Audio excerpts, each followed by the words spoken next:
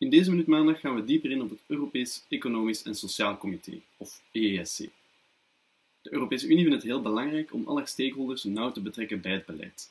Zo zijn lokale en regionale overheden vertegenwoordigd in het Comité van de Regio's. Om ook het maatschappelijk middenveld een stem te geven, werd in 1958 het EESC opgericht. Het comité bestaat uit 350 leden uit alle lidstaten en bestaat uit vertegenwoordigers uit het brede middenveld. Alle leden worden voorgedragen door hun lidstaat en nadien officieel benoemd door de Raad. De leden zijn onderverdeeld in drie groepen: de werkgeversgroep, de werknemersgroep en de groep diverse werkzaamheden, waar onder meer milieuorganisaties, onderwijsorganisaties en consumentenorganisaties zitten. Voor verschillende soorten initiatieven zijn de instellingen verplicht een advies te vragen aan het ESC.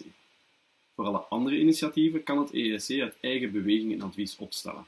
Die adviezen weerspiegelen dan de belangen van het brede middenveld. Van de 350 leden van het comité zijn er 12 Belgen. Zij vertegenwoordigen onder meer ondernemingen, vakbonden enzovoort. Tot volgende week voor een nieuwe Minuut Maandag.